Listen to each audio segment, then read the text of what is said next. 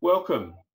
For the first time this year, Rotary opens opportunities to strengthen leadership, put service ideas into action, and enrich the lives of those in need. Please welcome your new president for her maiden voyage, Heidi Unverdorven.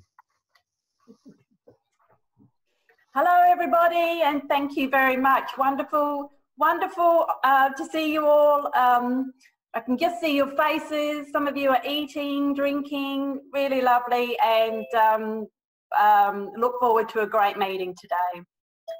This, we hope, will be our final online meeting. Um, uh, we were talking just before today's meeting that we may still Zoom our meetings, um, but this, we hope, will be our final um, online only meeting. Um, so welcome everybody today and especially to our guest speaker Darren Cahill who will be more formally introduced by Peter Neal later. Also welcome to all, all our other guests, visiting Rotarians and any guests of Rotarians who may be enjoying our online lunch meeting today. We have some birthdays in the club, um, as always. We have Paul Greenaway, whose birthday was yesterday. Paul's a friend of Rotary and Rob Falconer and Alex Grossman, who have birthdays tomorrow. So happy birthday if, um, if you're online today. And anniversaries, Simon Derek Roberts, four years. Rafaela Ost, four years. Dean Brazier, 11 years. And Bob Hecker, 47 years, which is an absolutely incredible achievement. So I don't think, know if Bob's online today, but um, certainly let's give him a round of applause if he watches this later on. Well done, 47 years. Um, just a few other announcements. Um, can you, uh, I remind all our members to please check the bulletin, Facebook or WhatsApp for any messages. And I also invite you all to contribute to our community projects by placing donations in the online donation bowl. Uh, the link is in the bulletin and I'll also put that up in, um, in a few minutes. Um, a really uh, fantastic um, announcement to make, of course, for those who haven't heard yet, is that we are going back to Adelaide Oval next week. Uh, Trevor Sterling, our new secretary, has contacted them this morning, so we've got the most up-to-date information as possible for you all. Um, uh, it's still going ahead, definitely, in the McLaughlin room, so that's in the Western Stand. We do have to have uh, final numbers, though, to Adelaide Oval by Monday. So we are asking everybody to please book online for this meeting to avoid any cash handling at the desk um, or credit card handling. Um, but the main thing is that Adelaide Oval need to have numbers by Monday. So if people do um, aren't able to pay online and would prefer to pay by credit card tap and um, on on Wednesday, that's okay. Just let us know if you're coming, and we'll make sure we have a, a seat for you. Um, and we also need to know dietary requirements. So the online booking is open on our event page, so please make sure you go in there and book, and you get a bit of a discount, just to remind you or two if you pre-book anyway. $3 discount. I'd like to also remind everybody that um, today is the official day of the, the new district, District 9510. So uh, it's um, a real um, milestone, I suppose, within um, within our Rotary clubs here within South Australia. But for those of you who aren't aware, District 9510 is the merger of the two districts that have been in South Australia for quite a while. So 9510 and 9500. 9510 is in between the two numbers, and that's where the new name came from. Now, that area actually encompasses a huge area of Australia. It encompasses most of South Australia, Sunraysia, so areas around Mildura in Victoria, Alice Springs and Broken Hill. So we're across four states, which, um, which is wonderful. So it just has made our Rotary family even even bigger. And um, we encourage once borders open for people to to connect with one another. And if you're going to um, going to be visiting either of those states, pop in and say hi to your fellow Rotarians. So as of today, uh, David Jones, uh, unofficially, but officially, is our new district governor, and he has invited us all to the um, online in um, changeover meeting this Sunday from 2 till 4 p.m. So uh, I think everybody has received an email about that. Uh, so if you can join, please feel free to. Uh, if you haven't got the link to the Zoom changeover meeting for the district and would like it, please just let me know and I'll forward that to you. Um, I'll be online and uh, encourage everyone to join in to celebrate this historic occasion and open the opportunities Rotary offers to enrich our lives and the communities we serve. Um, I think that's about all I need to let you know about. Um, next week, uh, as I said, we are back at Adelaide Oval, so we'll talk a little bit more um, when we meet face to face about the new Rotary theme for the year. Rotary opens opportunities, and you can see the banner here. So I think in about in the next 24 hours, Holger Knaack will become our new uh, Rotary International President as well, and that theme will come in, and you can watch that online as well for the first time. So um, join in. I think it's two o'clock tomorrow morning. Uh, so if I see any of you online at two o'clock tomorrow morning, I'll say hi.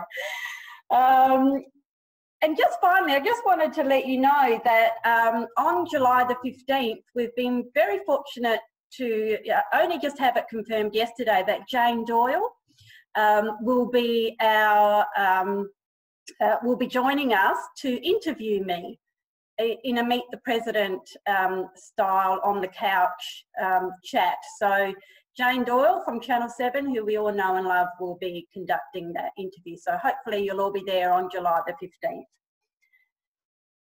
Um, I think that's about all. I will chat with you more as um, uh, at the end of the meeting and enjoy the rest of uh, the meeting. I'm now going to hand back to Peter Neal, who will introduce Spotlight on Service. Thanks, Pete. Thanks, Heidi. And just a reminder to uh, put your view on speaker view, uh, to mute for those who have just joined us recently, and also a reminder this session is being recorded and will be available online later. Our Spotlight on Service segment is an opportunity to hear about what we're doing in Rotary and our club. Uh, Heidi's mentioned some wider Rotary issues, but our club issues at the moment are very much focused on a particular project that I'm going to again hand over this week to talk about the Something Wild Yogurt Drive and raising funds for our Nurture Kits handing over to Joe Fiedler from the Adelaide, from Rotary Adelaide Innovation Group. Over to you, Joe. Uh, hello, everybody. What I'm going to do is I'm just going to uh, share my screen, so bear with me for a second, see if I can do this right. Uh, one, I think. How'd, how'd I go? I, not yet. Not yet. Coming on now, you're right. Right, you can see me? Yep. Okay. So, uh, for those who don't know what Nurture Kits for Nurses is, basically uh, the Calvary Hospital through Belinda Chapman contacted us about putting together some little nurture kits for maybe nurses that have had a bad day or have had a bit of trauma at their workplace. So we have been collecting over the last few months and even before uh, COVID, collecting lots of products for these boxes and just a couple of weekends we put them together. So we've got about 60 odd boxes ready to go to Calvary North Adelaide. So they'll go to the managers there and if, if a nurse has a rough day, then they'll be given one of these boxes. So it's all about going home, putting their feet up and just sort of forgetting about the day that they've just had. Um, so the people that are involved in this are the innovation group, that's kind of our primary project at the moment, and Calvary Hospital, of course, are being involved. We've got a couple of schools that are also helping, helping out. So those bookmarks you can see are from Elizabeth Grove Primary School. And then um, Gawler High School have also been helping out with a few of the products that go in there and putting the boxes together. So at the moment, to raise a bit of money, we are going to do a yogurt drive. So we're sort of in the middle of this yogurt drive and it finishes today. So it's been on Facebook and through the bulletin, but if anybody wants to order them, I'll still be taking orders today. So we're partnering up with Something Wild, which is an Indigenous um, company in Adelaide, and it was for NAIDOC Week, but NAIDOC Week has actually been postponed. So, but we're still going to keep going with the fundraiser. So there's four flavours, and you can either order a dozen of one flavour or a dozen of a mixed mixed flavours. So they're meant to be extremely delicious, and they've got Fleurieu milk yogurt in them. So I know that is a really good brand. So it's a great South Australian company, and 50 cents from every uh, yogurt goes back to Nurture Kits. So if um, you want to order some of those, just let me know. Here's some ways you can sort of contact me.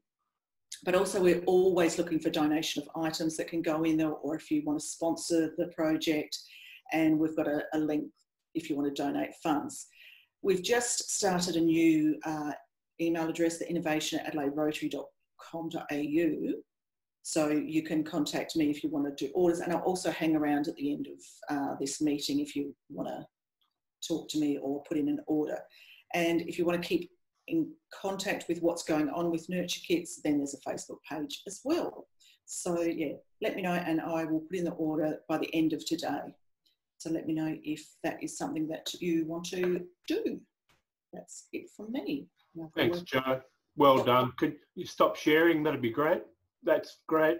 And a wonderful photograph there of a terrific uh, sporting family who are adding the flavours to these wonderful yogurts uh, in the motlops. And uh, funnily enough, uh, a linking theme to, to my suspenders and David Egan's hat, and uh, in recognition of some of the, some of the uh, the work that our guest today is a board member of Port Adelaide.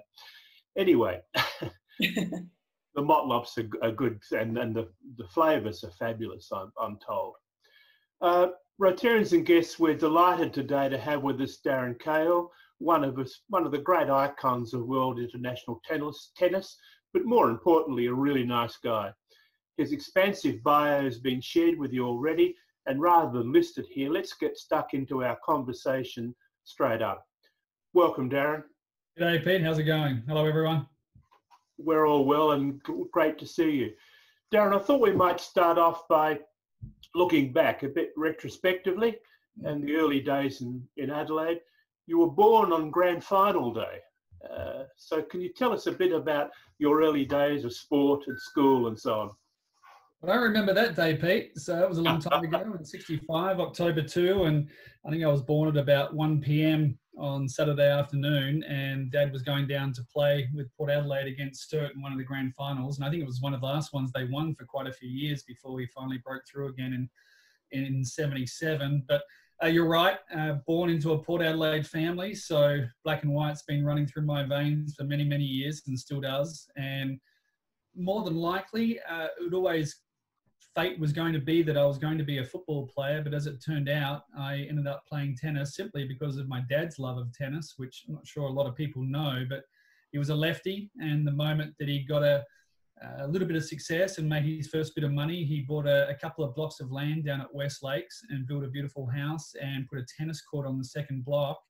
And I reckon I was about 10 years old at that stage. And, and then every night after that, he and I were on the back court playing and he was a big Rod Laver fan and uh, lefty with a big forehand and loved to serve and volley. So because of his love of tennis, I kind of just morphed into the tennis game, and that's how my career started from there.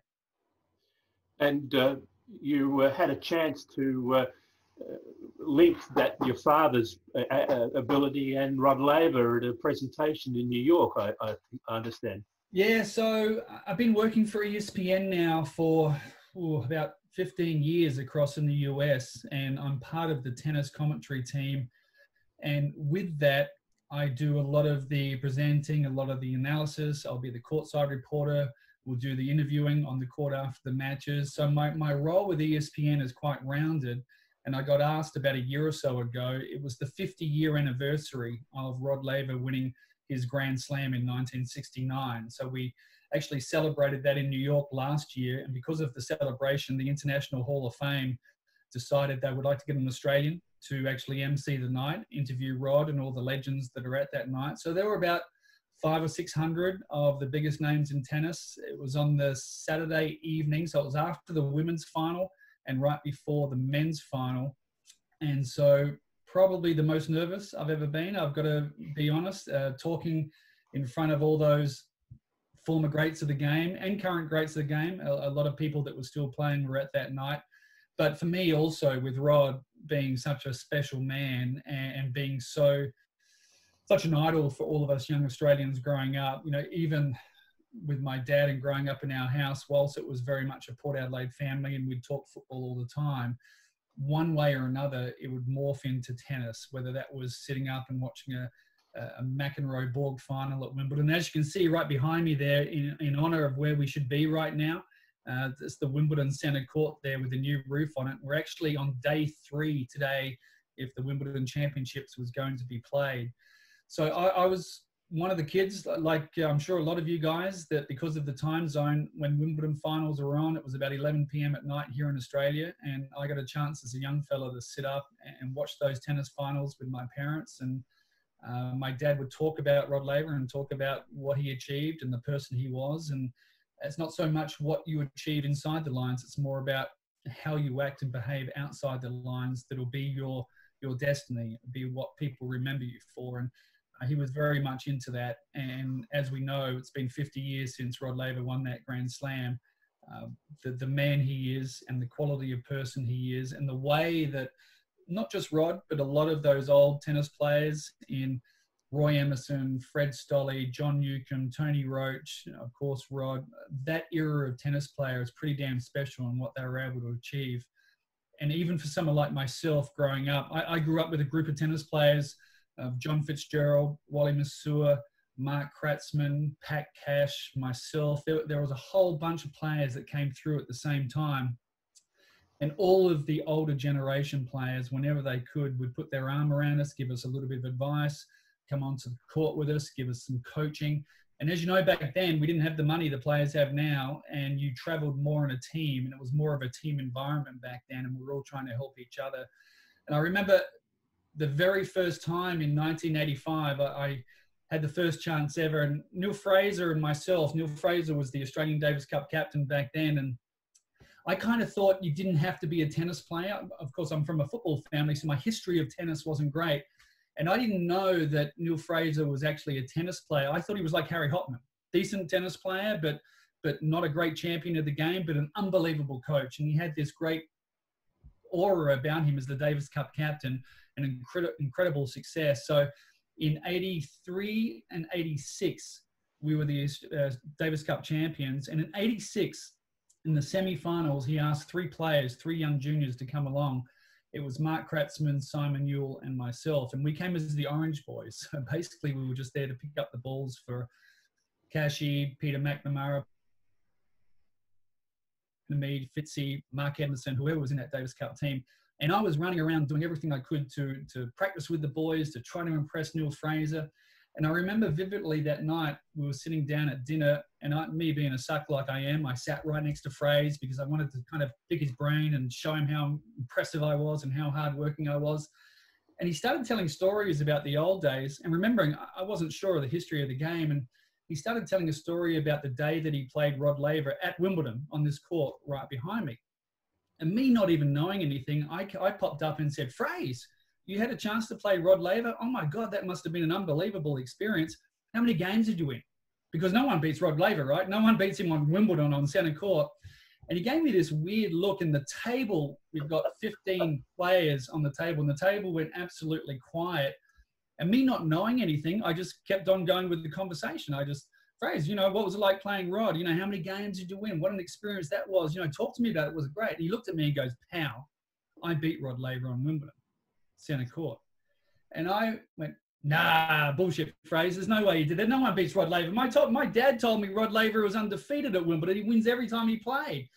Anyway, he didn't go on. He didn't say anything after that meeting. And uh, the next day, one of the older boys, I think it was Mark Edmondson, pulled me aside and said, Son, you better go do your research because Neil Fraser beat Rod Laver in the 1960 Wimbledon Championships. So I went and did my research and I went up and I apologized to him. And about three months later, we had the Australian Open. And Neil Fraser has this barbecue where he gets all the Australian players over. And it's normally at about 7 p.m. It's on the middle Saturday and we'd have about 20 or 25 current Davis Cup players and former Davis Cup players all at his house across in Melbourne. And he gave the invites out to everybody, and he came and gave me the invite, and it was 5 p.m., two hours before the actual match started, before the, the barbecue started. And so I get there a couple of hours early, and I walk in, and I didn't know that everyone was coming two hours later. And I walk in, and Fraser goes, "Pal, go and sit down there on the couch." And I sit down on the couch, and he goes, "What do you want to drink?" And I said, "I'll take a beer." And he brings me out a coke. he gives me a can of coke. And I'm sitting down and I said, What am I doing here, Fraser? Where is everybody else? And he goes, Mate, you're about to get a history lesson. So he goes and puts the VHS tape on the television and plays the 1960 Wimbledon final. And God damn it, I know every single point, every single shot, every single break point opportunity that he had because he made me watch that bloody tape 15 years in a row. And two hours, 47 minutes into the match, he finally hits a mishit forehand that shanks around Rod Laver's backhand volley, which he leaves and lands on the line. And he wins the match, throws his racket up in the air, runs up, jumps the net, and gives Rod Laver a hug. And Fraser was the 1960 Wimbledon champion. So I actually am responsible for making all the former players sit through that video for two hours every Australian Open barbecue. So it's a bit of a an in joke that I had to catch. I may be from a football family, but I had to certainly catch up on my tennis history. Darren, you uh, you touched on a couple of things there that might be worth following through uh, about a young player and a, and a uh, starting out, and it's you're quoted as as saying you weren't quite good enough in that sense to go to the AIS, but people saw in you something that uh, perhaps you didn't even recognise yourself that you were dedication. Maybe you got it from your father. You were just dedicated to the game and to to, to wanting to do better do you want to just touch on that? Yeah, no, that's for sure. Um, I was a decent player, but certainly not a great player. And, and growing up in this house, I wanted to play football uh, at that stage, but my tennis was slightly better than my football, and doors were starting to open up a little bit more in junior tennis. But there was a, a gentleman in Melbourne called Bob Carmichael. I'm not sure if many of you guys would remember Bob. His nickname was Nails, and he didn't start playing tennis until he was about 25 years of age, meaning full time. He saved enough money to jump onto a boat. He traveled across six weeks on a boat, got across to Europe, didn't have the money to come home. So he spent three years across in Europe, turning himself into a very, very good tennis player. And Bob was responsible for touching most of my generation of players coming through and having a positive impact. Uh, he was a personal coach of Pat Rafter for a couple of years. Simon Youl, Mark Kratzmann, pretty much everybody that came through, uh, he was there to help them. But he had a real disciplined attitude. He's a Melbourne supporter, so he loved football. He obviously knew my background, and my dad was coaching Collingwood at the time, so he knew of that as well. And uh, he took a bit of a shine to me, and he could see the work ethic, uh, the way that I went about things. Um, my, actually, my dad gave me a, a, a nice story um, when I was about 14, I reckon 13 or 14. It was a bit of a history lesson that I got in front of all the old Port Adelaide players. Um, hopefully, everyone remembers Bob Philp, a great Port Adelaide football player, played back in my dad's era. Anyone that's a Port Adelaide supporter back in those days, there is, you'd go back to the games after the match and they would have the presentations for all the players. So if you played well, a lot of the members would put some money into an envelope and then player by player would get called up onto the stage and it would be like a celebration. And we didn't lose all that often, so most times we had a pretty good celebration back then. And I remember as a 14, 15 year old walking up to the bar and going to get a lemon squash, and you've got to try to walk through the crowd to get up there. And I got up to the bar and I got a tap on my shoulder, and the lady's name in the bar was Sue. And I said, uh, Sue, can I have a lemon squash, please? And I got a tap on my shoulder, and it was Bob Philp, who was very close to my dad. And Bob said, we used to call him Uncle Bob back then. I said, hey, Uncle Bob. And he goes, what'd you order? And I said, uh, lemon squash. And he goes, come on, mate. You're, you're Jack's son. Jack's son doesn't drink lemon squash. That's for Sheila's, mate. You don't, you don't drink lemon squash. You have to have a beer. It's going to put hair on your chest and lead in your pencil. And I didn't even know what in the hell he was talking about. But Sue puts a beer down in front of me, the bartender, and says, yeah, lemon squash. You don't have lemon squash. You got to have a beer. So I had this beer for the first time, and I didn't really know what to do with it. And I walked all the way back through the crowd. And then you had the little roped off area. So now I'm a 14 year old, and everybody knew me as Jack's son, walking back past Brucey Light, past Brian Cunningham, past Kim Kinnear, past Bomber Clifford, Russell Ebert, the whole lot, all the players sitting there watching me walk with this beer and put this beer down on my dad's table. And my dad looks at me and goes, What have you got there? And I said, Uncle Bob gave me this because he thinks it's going to put hair in my chest and lead in my pencil. And he goes, Do you even know what that means? And I said, No. And he goes, Well, you better drink it then. So all of a sudden, I felt all these eyes on me. And I drank beer for the first time. And anyone who's drunk beer for the first time knows there's a little bit of a kickback. Well, this kickback had beer coming out of my nostrils. I was coughing it up. And one of the most embarrassing moments of my life. And I put the beer down and I got a, a napkin and wiped it off. And he goes, Don't worry, two things you're going to learn from this. Look behind you. And I looked behind me, and Russell Ebert was looking at me. And Russell, Russell had a massive smile on his face. And he had a glass with a lemon squash in his hand, basically giving me a little cheers.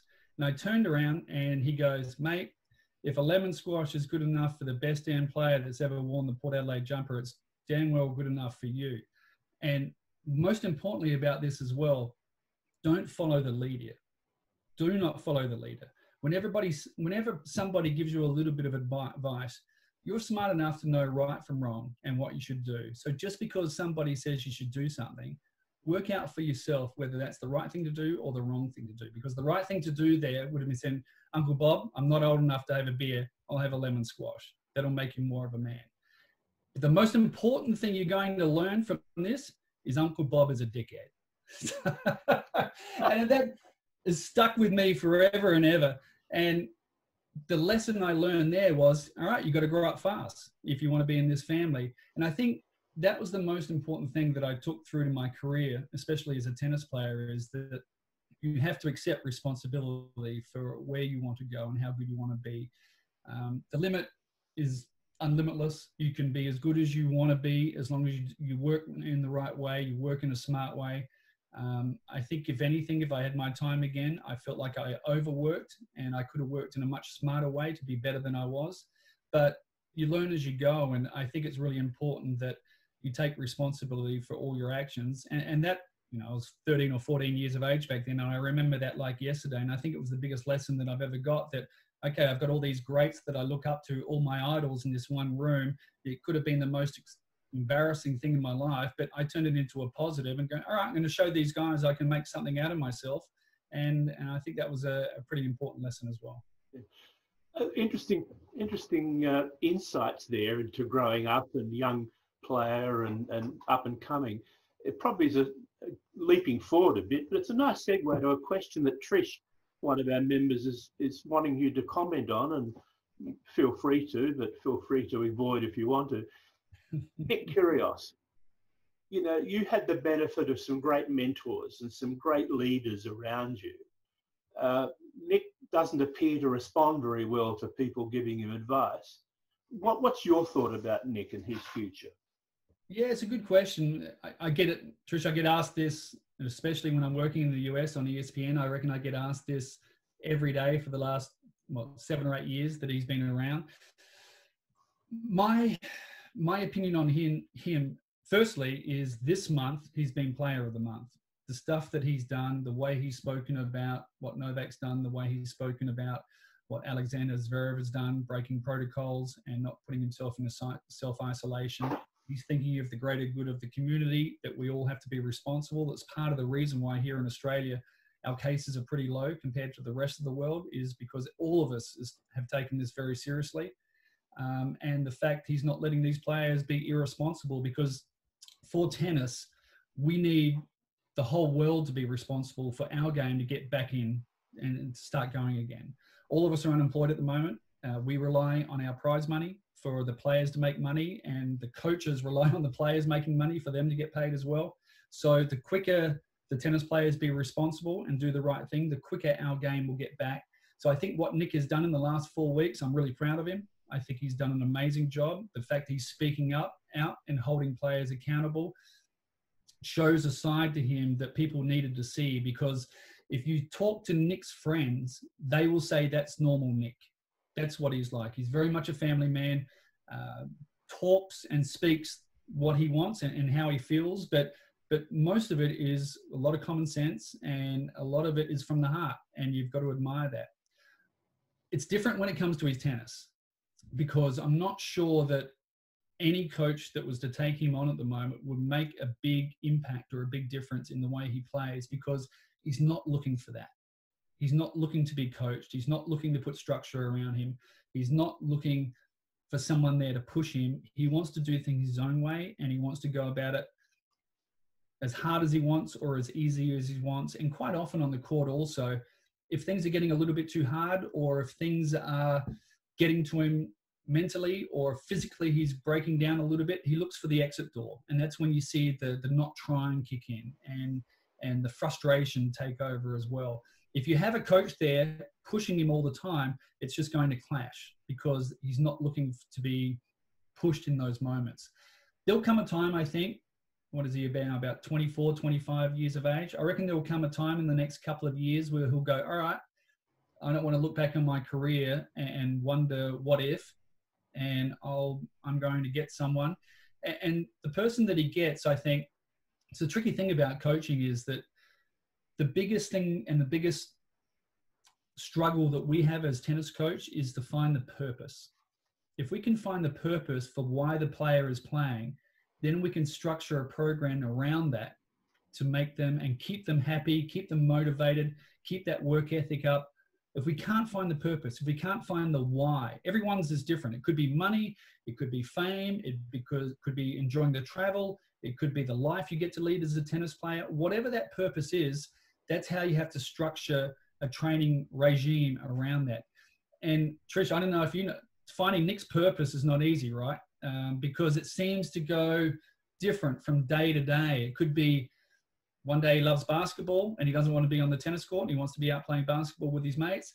Some days, if he's playing Rafa Nadal, he has real purpose because he and Rafa are not the greatest of mates and he really wants to beat him. And that's his purpose is to, to play the best players in the world on the biggest courts with packed audiences. I, I think Nick would be one of those players here during COVID 19 that even if the US Open was going, and he decided to go play, if you put him in Arthur Ashe Stadium with no fans, no matter who he was playing, that would be tough for him because I don't think he'd be able to get himself up. He wouldn't be able to find that inner drive to push himself through that to try to chase the victory because there's a little bit of showman in him as well. So it's a tricky question, Trish. I don't have an easy answer for it because he's a complicated young man but I think in the next couple of years, I'm hoping that he's going to, to think that, you know what, I'm going to try to put someone next to me. It might be a coach, it might be a hitting partner, it might be a psychologist, it could be a best mate, whoever it may be that can help him get the best out of himself. But that person will need to know him really well. We'll need to spend a lot of time with him to get to know him well.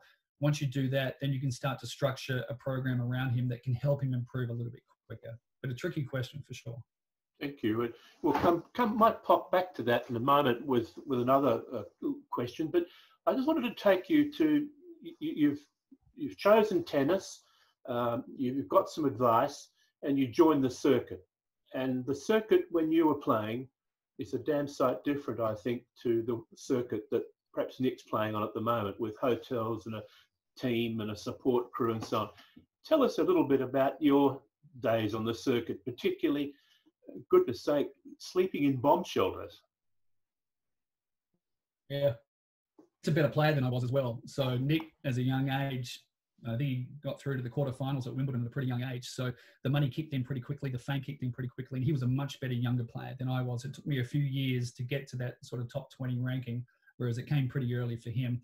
Yeah, it was completely different back then. And I'm not the only player, pretty much, unless you were Pat Cash, who was the standout player back then, all of us uh, did it pretty tough. And you would go away and you'd buy an air ticket. You would stay away until the money ran out. That could be three months, that could be six months, whatever it took.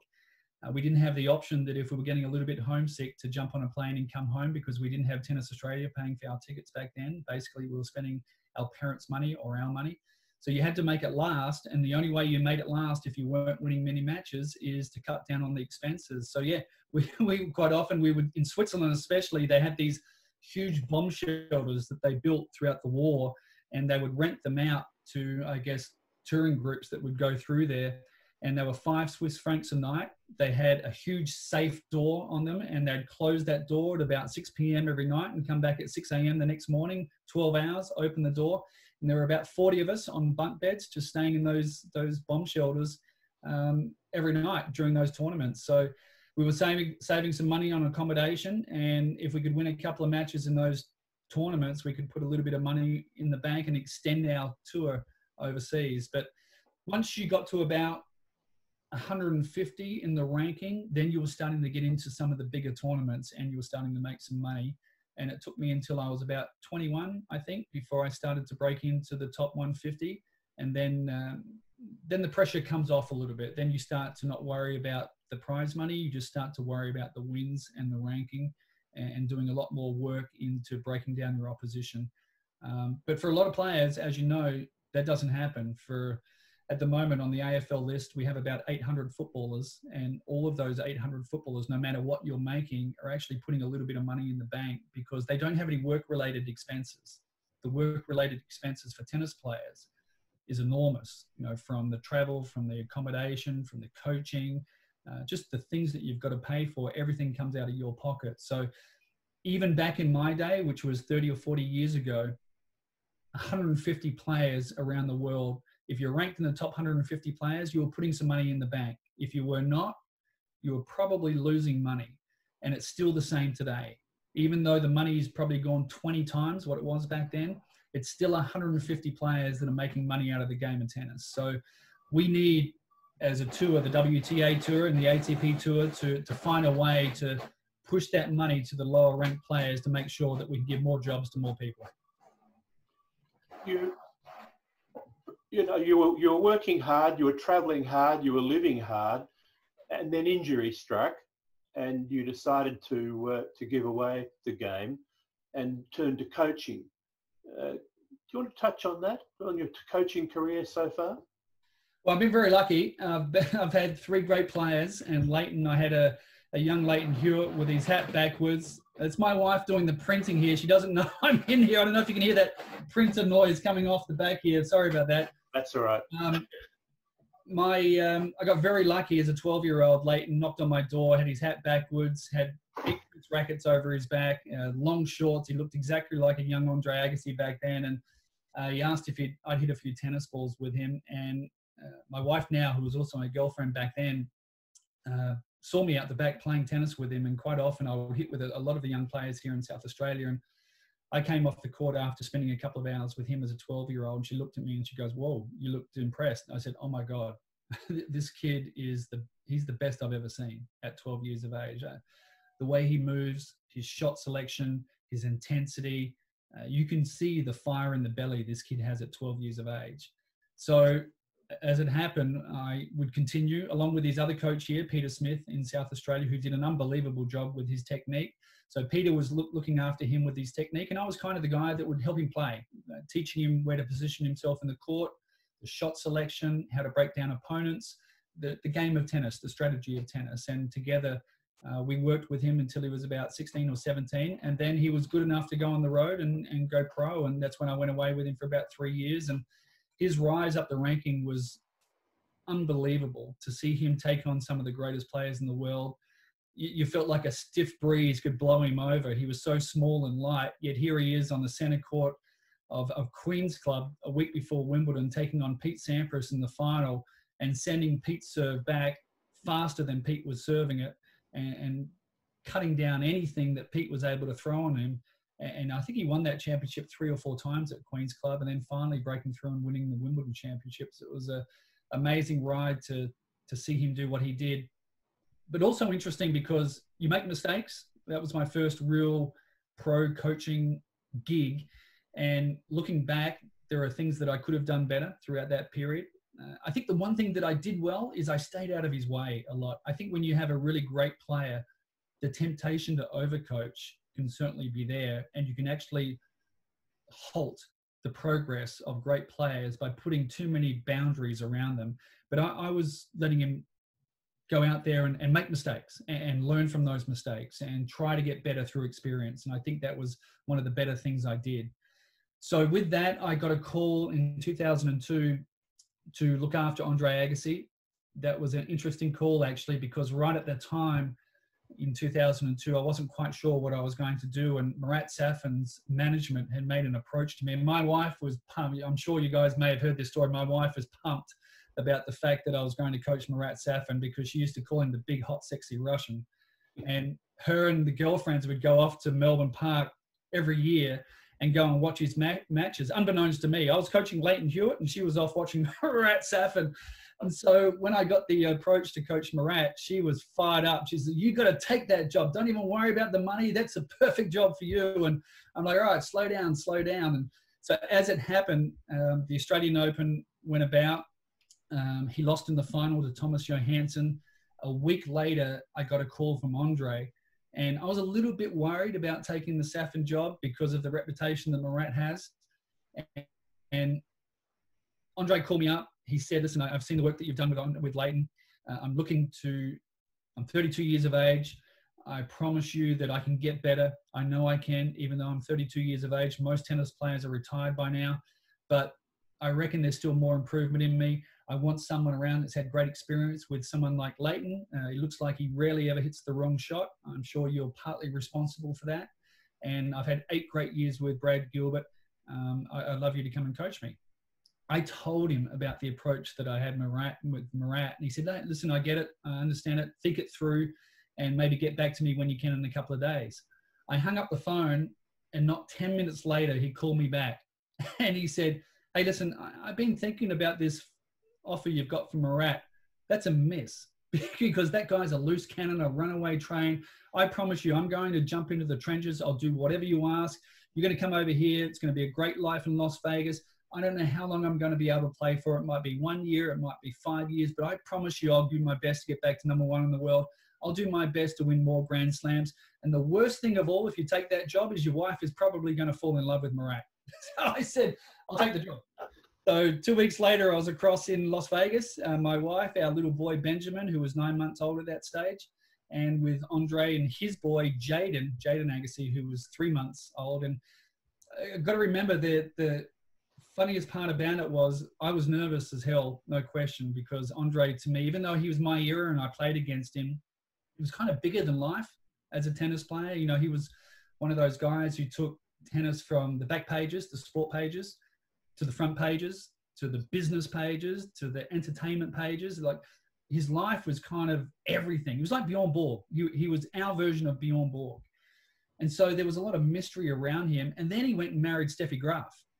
So in this house, you've got Steffi, who's won 22 Grand Slam singles titles, and you've got Andre, who's won seven Grand Slam singles titles. So holy shit, we're walking into a house of 29 Grand Slam singles titles. And my, my wife on the flight over, Victoria says, what are you going to teach this guy? Like he's 32 years of old. How are you going to improve this guy? And it was a damn good question, right? Because you don't know if his game's sliding backwards at years of age. But I'd done my research, I did all my work, and we walked into the house, and they were great. They made it feel like there was not a single trophy to be seen anywhere. It was a beautiful house. Um, we had a room in San Francisco. It was in Tiburon in San Francisco, and some of the most expensive real estate in the world. We walked into this room, and it's all Steph has decked it out beautifully. And we've got a little baby cot there, and one window in our room we could see the Golden Gate Bridge. The other window we can see the Bay Bridge. We're looking across all this water, and my wife looks at me and goes, "Yeah, stuff Marat. Good call, killer. I'm glad bloody job. You don't don't stuff this up for Christ's sake." I went, "Oh my God, the pressure's on." And that night we had a we had a dinner that night, and it was it was like a movie out of a scene. It was I can remember it like yesterday. Huey Lewis from Huey Lewis and the News, the singer, Robin Williams, um, Marsha Williams, his wife, Gil Reyes, who was the strength and conditioner trainer, flew up from Las Vegas to be at this dinner. So it was like a, a welcome for Victoria and myself to the Agassi house. And he had all these celebrities at this table. And he's giving margaritas and beers and cooked big steaks, and the food was unbelievable. And we all sit down at this table. There was about 16 or 16 or 18 of us. And he knocks his glass with a spoon and says, "Hello, everyone. Just like to welcome my new coach, Darren, and his wife Victoria, to the to to Tiburon. He's going to be my new coach, and we feel like we're going to have great things. But the one question I want to ask Darren, and the one thing I would like Darren to tell everybody here is, how am I going to beat Lleyton Hewitt? That was the very first question in front of everybody, and it was my first test. And as I said before, I was well prepared. So I had about a 10 or a 15 minute, and I knew that question was coming for sure because at that stage, Lleyton was number one in the world. I think Andre was about six or seven in the world, but Lleyton had beaten him the last couple of times. So I knew Lleyton's game was frustrating him. So I had about a 10, 15 minute spiel that I was going to, to roll out. I thought we were going to roll it out privately, but now here I am rolling it out in front of Robin and Marsha Williams and Huey Lewis and all these other people. And anyway, it went really well. Um, as soon as I finished, he goes, Oh, this is going to be a good partnership. And then we went to work and it went for five years. And as most people know, 33 and a half years of age, he got back to number one in the world and he won the Australian Open and finished his career in 2006. And I think he spent more time in the top 10 than any other player. All of those records that he had have been eclipsed since by, by Roger Federer, but at the time he held a lot of records for the oldest ever number one. Um, and so it was a pretty amazing ride. And I learned a lot with him. He was very different in the sense with Lleyton. you it's like a caged bull. You know, one of the things with Lleyton is to to find a way to fire him up, give him some strategy, but basically just open the gate, let him out there and go, go get him. And, and Lleyton would do it. Andre was very much analytical that he wanted to know 20 different things about what his opponent may or may not do. If he was playing Richard Gasquet from France, okay, what happens if I hit the ball hard and fast into his forehand? Is he going to take that ball on the rise and hold his position, or is he going to fall back a little bit and play that ball with a little more spin? Will that ball be dropped a little bit short where I can attack it? But what if I serve him wide? If I serve him wide, is he likely to chip that return back? Or can I do a sneaky serve and volley? Or will he go for the big forehand down the line? Because I don't like that forehand down the line when players do that. So he had 20 or 30 different questions about every single opponent that he wanted to imagine how the match was going to play out before he actually played the match which my dad actually was very much into the imagery of the match. Think about how you're going to win that match. See that match being played out in your mind before you actually play it. And when you walk onto the court, when you get into those moments when you're 4 2 up, 40 30, trying to close out a match, you've already played that point four or five times in your mind. So you know what's going to happen, you know how it should play out. So Andre was very much in that mindset as well. Simona was completely different. Uh, Simona, the women's game is a little more emotional, and it's much more important to spend the time to understand what's going through the player's mind and why they're making certain decisions they are. So it spent. It took me a lot more time to be more effective with Simona than it did with the two two guys because also the pressure that she was under being Romanian, there's 20, 20 million Romanians and tennis is by far the number one sport in Romania dealing with that pressure, being someone who's about five foot five and a half, five foot six, uh, all the focus is on her. Every win she has, the country rides that win. Every loss she has, the, the country mourns that loss. Uh, they critique it, they break it down. It's a bit like the Crows and Port after every weekend. They do that just with her after every single match. So it took me a while to understand the pressure she was under. And that French Open loss that she had in 2017 to Jelena Ostapenko after being up a set in the break. I can't te- can't describe to you how crushing that was for her to lose that match, and how much she impressed me as a person to be able to put that loss to one side and come back through just sheer hard work and to make herself stronger mentally and stronger as a player and finally break through and win that tournament the next year in 2018 and then to go on and win this tournament behind me in 2019. She's a remarkable young woman, and I've thoroughly enjoyed my time with her. It's been my most challenging coaching assignment for sure, but certainly one where I've learned a lot. Thanks. We, we're just moving along a bit, but before we get to the next uh, phase or, or era of the conversation, Xing Hai asked an interesting question about gamesmanship and the fact that Brad Gilbert was a master at game, playing games. Uh, any comment on that, Darren? Uh, Brad's one of my best friends. Uh, I love Brad. We we speak. The guy's up at four in the morning. He drives me nuts. So for the for the time slot here in Australia, it's quite good. So when he gets up and he wants somebody to speak to, and he calls me at four in the morning, it's okay. But when I'm in the US in Las Vegas, we're on the same time zone. I'll wake up at 6:30, 7 o'clock, which is still early for me, and I've got seven missed calls from Brad for sure every single day. Uh, Brad, Brad to me is the master at taking a snapshot of somebody's game and being able to break it down. So he can look at somebody for five minutes and go, that person does this well, this this well, but this is going to be a problem. This is going to be a problem. You need to work on this.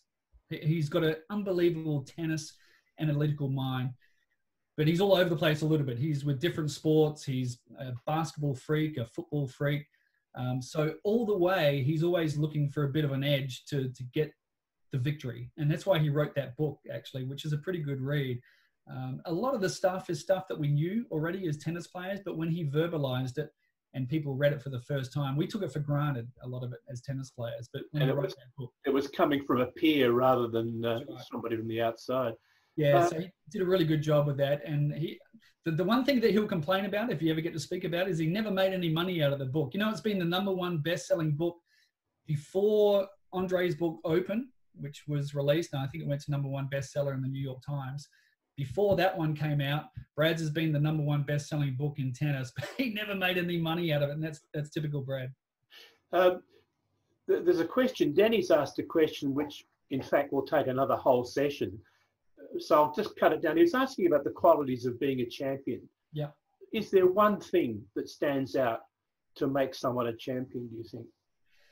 There's five things and i talk about this all the time actually when i do a little bit of presenting with young tennis players and even in the high performance space there are five things i think that you can see through every champion in tennis. And the first one goes without saying it's work ethic. If you don't have great work ethic you won't get there. You see a lot of players that have incredible talent that will never turn that talent into being a great champion unless you have great work ethic. Purpose as i said before You've got to find that purpose. Why you get up every morning. It's the same for your job, your normal job as well. If you're not inspired by what you're doing, you'll never be great at what you do. And so for our jobs as coaches is to find that purpose and what makes the player tick. If you can find that purpose, your job of coaching effectively is much, much easier. All the great champions have belief. They all believe it, regardless of whether or not it's happening or not. Even though Simona failed in her first three Grand Slam singles finals, deep down, she had incredible belief. I think your coach can help bring that belief out more and bring it to the fore. Uh, you do that a lot by conversations, um, trust, uh, sh- not being too emotional in the big moments, making sure that uh, through the bad times and through the good times, you're a little more flatlined as a coach, and, and the player really gets great belief in that.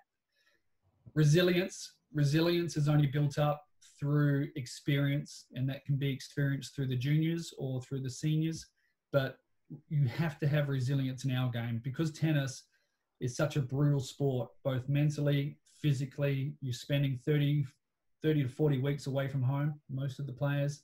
You build up a great resilience uh, through just experience. And the one thing, so they're the four things work ethic, purpose, belief, and resilience.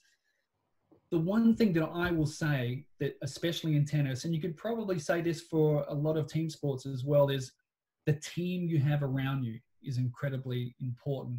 And you can just go to uh, people like Federer. If you look at Federer, he's had the same coach for 15 plus years. I know he brings in other coaches from time to time, but he's had that Severin Luthi, who's been with him for about 15 years. He's had that consistency. Djokovic has had Marian Vajda. Serena Williams has had Patrick Mouratoglou. Ash Barty has had ties for the last four or five years. Nadal has had Uncle Tony and now Carlos Moya. The players in our game that are looking for the magic bullet to come from a coach, where they're struggling a little bit and they think, okay, I'm going to change the coach because a new coach might bring me something that I'm missing. They're the ones that will struggle, and they will always struggle. There are a lot of great coaches in our sport in tennis. And unless you build up those four things that I said before, it's not going to work. So you look through all the great players in our game, the team aspect and the consistency of the team. And it's a little bit like we were talking about Pete in football as well. You can you can say the thing with with Vossi and um, Kenny Hinkley at the moment is that you know we've had that same group now for a number of years, and it takes time to build up that belief uh, with the players. And I can honestly tell you, it's a nice segue to the football as well. Can honestly tell you that the group at the moment, the culture within Port Adelaide, the t- togetherness of the group of the players and the coaches is stronger than it's ever been. And that's because of the work those guys have done the last three or four years, and it takes a long time. Now they have a chance for success. If you don't have that, it's very rare that you can have champions. So I think those five things are really important. Thank you. That's. Uh, I think we might bottle those actually, and maybe that'll be the chapter, important chapters in your forthcoming memoir, uh, which a number of people have said online that they'd love to read. Um, I just, in the few minutes remaining, I just want to talk about the current situation, the present. Uh, this morning, an article in the paper about a, an unnamed football team and an unnamed player having a bit of a bleat about maybe having to go somewhere else and being away from the family and all that sort of stuff. COVID has created some incredible stresses and pressures upon people. Um, what's your overall impression of COVID? Uh, the US Open going ahead, Novak Djokovic's uh, you know performance, if you will, in uh, recently in the tournament, the whole football hub thing. Can you just give us your insight into what you think is happening and what will come out of the COVID situation? Well, on football, firstly, I think that the football players are not used to what tennis players are used to. We, we, make a choice as tennis players is that this is our life, this is what we choose to do. We'll get onto a plane and we're going to go for it. So we get to choose that. In fact, I grew up with a tennis player uh, who was a great tennis player, in fact, better than me back in the junior days, called Todd Viney. Todd Viney was a state champion here in South Australia. Great Melbourne player. Exactly. He didn't like the life. So when he was 17 or 18, he decided, no, he flew back from Switzerland, gave up tennis, and decided to, to play football, played for Sturt and became the Melbourne Football Club captain. So um, it's not for everybody, but it's our choice. Footballers are a little bit different. So I have some empathy for what they're going through. Um, if a footballer is not used to being away from the family, or if you've got a, a wife that's about to give birth, no problems. I, I don't think anybody should be forced to go into a hub, but there are some big, big positives to doing it because it also, as we go back to this culture thing, it gives the players and the coaches a chance to bond in a way that they haven't had a chance to do before. And if you go into the hub with the right attitude and the right desire, it can be a great thing for you and you'll miss it. The players, I think, especially from Port Adelaide, regardless if they beat Brisbane this weekend, will come back to Adelaide. They'll disperse to their families and they'll go back to their regular routines. But a lot of the stories they'll talk about for the next couple of years will come from this little three or four week experience they've had in the hub because it is a great time to spend together and especially while they're going through this winning as well.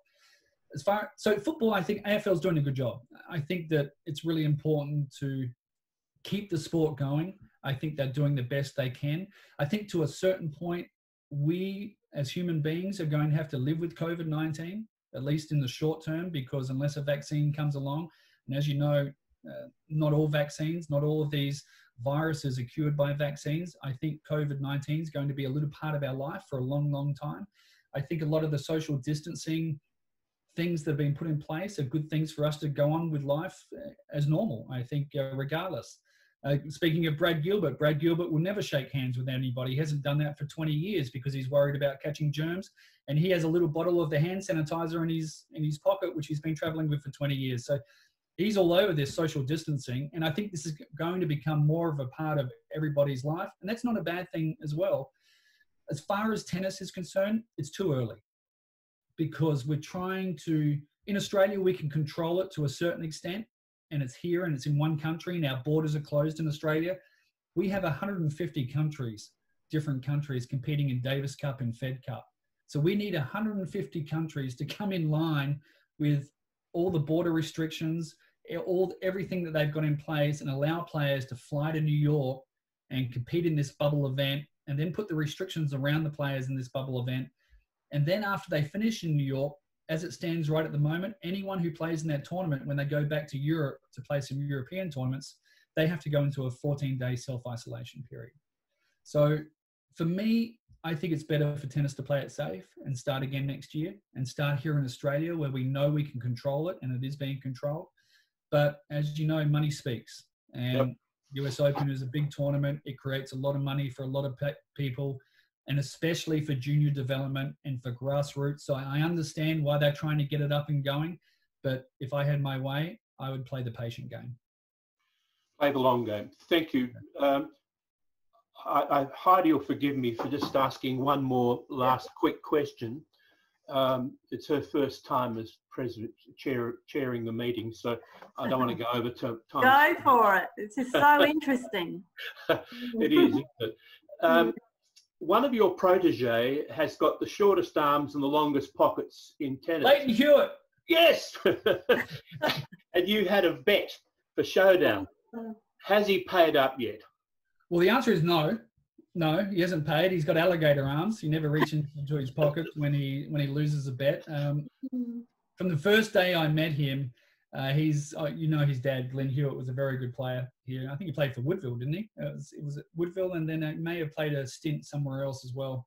In fact, I think he actually went across to the VFL and played a year over there. And he was a really good player, but he's always grown up a Crows fan. And uh, when he took on me as a Port Adelaide coach, uh, we've always been at it in a fun way back and forth. So we'll quite regularly have a bet on the showdowns. And uh, there was a period there where Crows were whacking us twice a year, and I would pay up my bets, but no. Rusty has not paid his bet. It was supposed to be a slab of beer. You know, the actual truth of that story was I sent him a message. We have a we have a super coach group. Anyone that plays super coach will know it. So there's 20 football, uh, 20 ex tennis players that have a super coach group against each other. So we're all ex tennis players or current tennis players. And I sent him a message on the group saying, Rusty, do you want to have a bet for the upcoming showdown? If I win, you've got to put a Port Adelaide prison bar jumper on and put it on your Twitter and Instagram accounts for a week. And if you win, the Crows win, I'll do the same with a Crows jumper. And he said, no, no, no, no, no. I'm not that confident about the Crows winning this one. let's, just, let's just bet a slab of beer. So a slab of beer it was, and no, old Alligator Arms hasn't paid up the bet. So we'll see if that comes. Darren, uh, thank you, thank you so much for your time today, and uh, and I, am sure uh, without too much arm twisting, uh, President Heidi may invite you to come back and be with us live sometime in the future. Um, you've, you've given us some great insights into uh, to a whole range of things, leadership, uh, things that you learnt from your dad about coaching and leading. leading. Uh, you talked about Nick Kyrgios and the fact that perhaps Andre Agassi made the phone call that Nick needs to make at the right time that suits Nick. It's been absolutely phenomenal and insightful. And uh, I just wanted to quickly share our screen for everybody. We like to thank everybody and thank our speakers for their time by making a donation in their name to eradication of polio as part of the End Polio Now project that Rotary's been doing. And uh, so on that note, there's the certificate which will be coming your way fairly shortly. Uh, oh, I'll stop. I'll stop sharing and and I won't talk anymore. Just to say thank you very much, and I'll ask all of the members to uh, to unmute if possible, and to thank Darren in the usual manner. Thanks, Jack. Thank you, guys. And Thanks, well mate. done with everything you guys do as well. Thanks for everything. Thanks, mate. Over, over, back to you, Heidi. Okay. Well, thank you very much, Darren. What an absolute joy and pleasure it was for you to join us today. And for our last Zoom meeting, um, that was just amazing. Thank you so much for your passion and the joy in your voice talking about all the stories and um, uh, just phenomenal. What an incredible life you've lived so far and many, many more years to come. You and I are the same age, I realise too. So, um, yeah. 45. Tennis. We're 45, right? yeah, that's right. Exactly. Exactly. and, and, it's funny because growing up as a kid, tennis was a big thing in my life too. Um, um, my, my next door neighbours had a tennis court, which, you know, these days most average people don't have tennis courts, but they could have a tennis court in their backyard, you know. And uh, it was, um, we played tennis and went to the um, Memorial Drive and watched. I remember trying to get John Alexander's autograph one day in the middle of a game. You were able to actually go down that close to the players. And I remember asking him, oh, could I have your autograph, please? I was probably 10 with my autograph book. And I never forget, he looked at me, he was so angry. and he said, No, no, no, not during the game. And I'll never forget that. I just snuck away, but you were able to get that close to tennis players, legends back then. and um, yeah, it was it was certainly a wonderful, wonderful um, opportunity to, to learn a lot about tennis and it really embedded in me the love for the game. So um, really great to hear all those stories about the players. I love your story about Uncle Bob, the Uncle Bob lesson in particular. Yeah, didn't know where that was going, but I love love the the end of that. That was really good. so thanks, Darren. And when you when you can come to Adelaide again, we'd love to have you join us at one of our meetings at any Pleasure. time. So see you later, everyone, and I'll let you guys uh, continue on and uh, all the best and uh, go the power. thanks, Darren. Bye. See ya. All right. Well, that was certainly worth going over over a few minutes today. Thanks so much, Pete. That was uh, a fantastic, fantastic talk, and um, I can see by everybody's comments how how brilliant that was. Um, what a wonderful South Australian. What a wonderful person. So next week, uh, just to close off today's meeting, um, we'd like to, I'd like to say thank you to everybody who's joined us online today, members and guests. Um, we're back at Adelaide Oval face to face next week, so please join us um, next Wednesday where we'll have some time for fellowship, hear what members have been up to over the past few months, uh, learn a bit about the new Rotary theme, Rotary Opens Opportunities, and for, for members we'll have our new club directories available for you to collect on that day. Please don't forget to order your yogurt from Joe Fieldler uh, by the end of, of the day. Some beautiful yogurt there to, to choose from with money raised going to the Nurture Kits for Nurses. Um, don't forget to book online for next week's meeting and um, I'll send everybody the link now. Um, if you can book now, that would be great. Otherwise, uh, before Monday would be wonderful. Um, and with that, I'll close the meeting and I'll see you all next week. Thank you so much. Bye-bye.